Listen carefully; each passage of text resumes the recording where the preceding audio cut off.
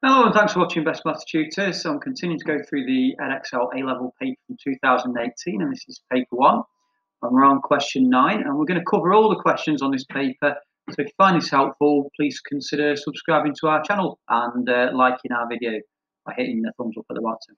So question nine uh, says we've got this, um, this curve which is given by this equation which involves x's and y's and the first thing we've got to try and do is we've got to differentiate it.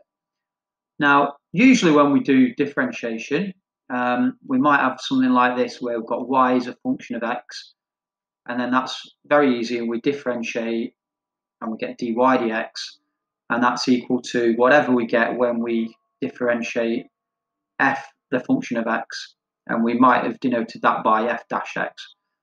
In this case, because we've got the x's and y's all mixed in together and we couldn't get it in this form y equals a function of x. We have to use a different technique and this is called implicit differentiation. So if we have something just involving x's like the x squared, we would just differentiate that as usual. So we would get 2x for that. We differentiate x squared we get 2x when we come to the um, the minus 2xy, we've got actually a product there. So I'm just going to make that slightly easier for myself and just uh, consider put the minus in and then just put um, do the differentiation of the 2xy. So we've got a product which is the 2x times the y. So what I'm going to treat is the is u is equal to 2x and I'm going to let v equal y and then if I differentiate uh, the u part with respect to x, then what I will get is 2. And if I differentiate y with respect to x, then I actually get, so dv, the dv dx part, the y bit is actually just dy dx. So if I've got y in my um, expression that I'm differentiating, then y just turns into dy dx.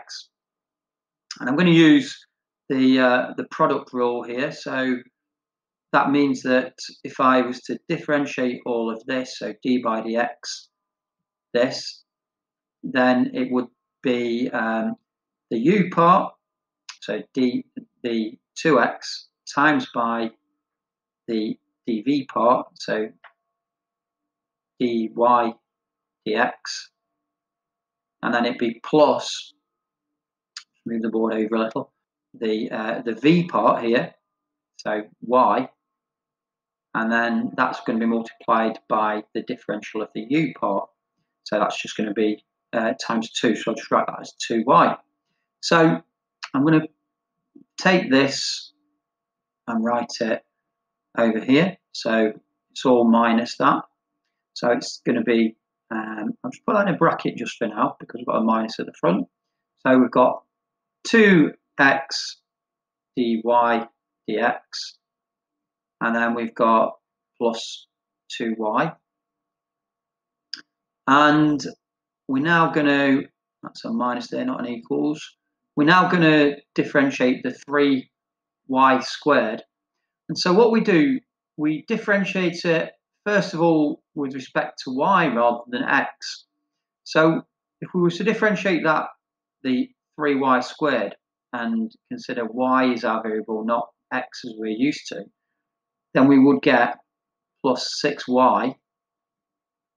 And then we have to just multiply it by dy dx. So that's the um, the implicit differentiation method there. And it's going to be equal to zero because 50 would disappear. So I'm just going to tie that all up because it looks a bit of a mess at the moment. Um, so we've got 2x uh, minus 2x dy dx. And then that minus is going to multiply into there. So that's going to be minus 2y. And it's going to be um, plus 6y dy dx and that's still equal to 0. What I'm going to do next is actually just factorize it in term, and I'm going to take a dy dx as a common factor. So factorize and collect up that part of it together. So I'm going to have dy dx, and then it's going to be uh, taking the 6y first because it's positive 6y minus 2x. And then I'm going to have um, plus the 2x minus the 2y is equal to 0. And um, what I'm going to do next is just take this uh, 2x and the uh, minus 2y over the other side. So I'm going to get dy dx times the by that bracket is going to equal this because the sign's going to reverse when I take them over the side 2y minus 2x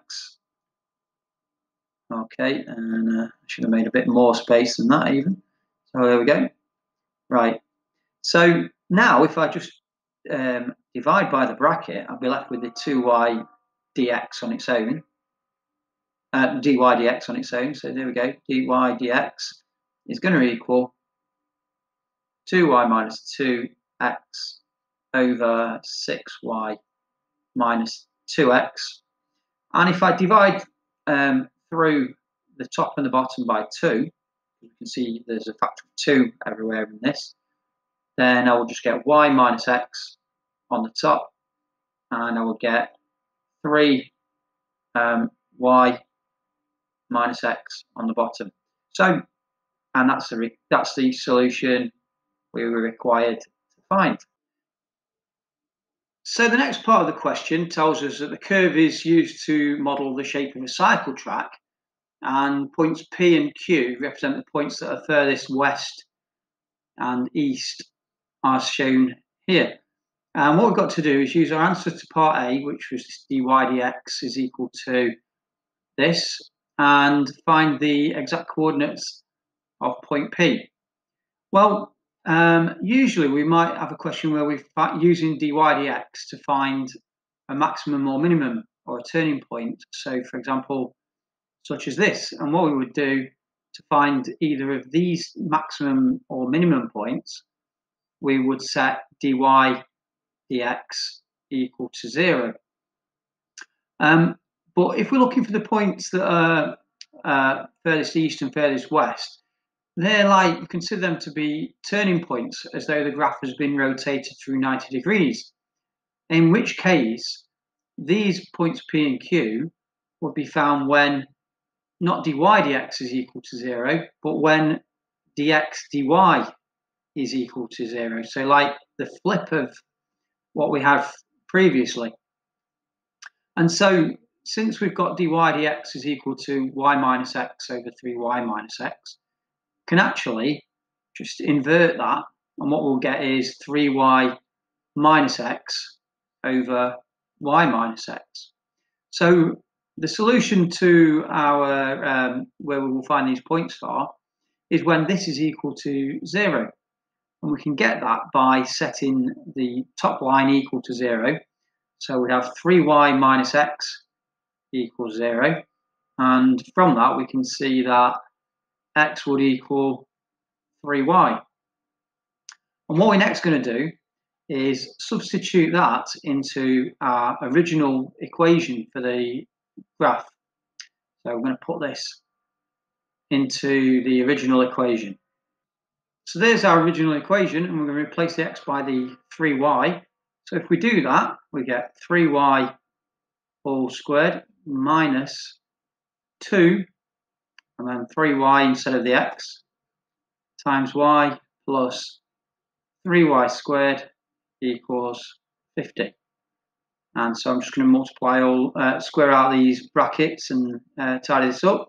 I'll get 9y squared minus 6y squared if I times the 2 by 3y and then by the y, and then plus 3y squared is equal to the 50. And tidying up the left hand side there, I get 6y squared equals 50. I'm going to divide through by 6, so I'll get y squared equals 50 over 6, which is 25 over 3. And um, then I'm just going to square root that. So I'll get y is equal to square root of 25 over 3. And that'll give me 5 over root 3. And then I'm just going to rationalize the denominator by multiplying top and bottom by root 3 there. And so if I do that, then what we can see is we'll end up with 5 root 3 over 3. Now, um, because we've got uh, two answers to the square root, we've got a positive or negative answer. If we look back at the graph, we can see that the point P is below the uh, x-axis, so that would mean that y was equal to a negative value. So we're actually going to take, rather than the positive one, we're going to take the negative value there. And now since we know that x equals 3y, we're going to um, use that to find the x coordinate. And so if we replace the y by minus 5 root 3 over 3, what that will give us is that x is equal to, um, just times that by 3 will give us minus 5 root 3. And I'm just going to then put that in coordinate form. So in coordinate form, that's going to be um, as a bracket minus 5 root 3 the x and minus 5 root 3 over 3 the y. And we'll leave it in that format because it asks for it as an exact answer. And if we use, if we got the root 3 as a decimal, then it wouldn't be exact anymore. So we can see that here's our graph now. And uh, so we've got to explain how to find the coordinates of point the point that's furthest north of the origin. So we'd be interested in this one. So we've not got this point here. So we've not got to find um, or do the calculation as such. We've just got to actually explain what we do. So we have our dy dx. So we what we would do is um, we would make dy dx equal zero. And since from before we found that dy dx was, if I go back up, dy, dx was uh, y minus x over 3y minus x. So y minus x over 3y minus x. Then we can see that would equal 0 when y was equal to x. So what we would do then, in order to find the coordinates of that point, we would um, we would substitute y minus x into the equation of the curve. And then from that we'd um, we'd get uh, two solutions and we would take the positive solution since we can see we can see that um, y is positive at the maximum point. So we'd, if we get another solution, the other solution would be this one, which would be the negative value. So we would take the positive solution because we're after the point that's furthest north. Uh, so I hope that's been helpful to you. And if it has been, as I say before, please uh, consider subscribing to our channel and give our video the thumbs up. Thanks for watching.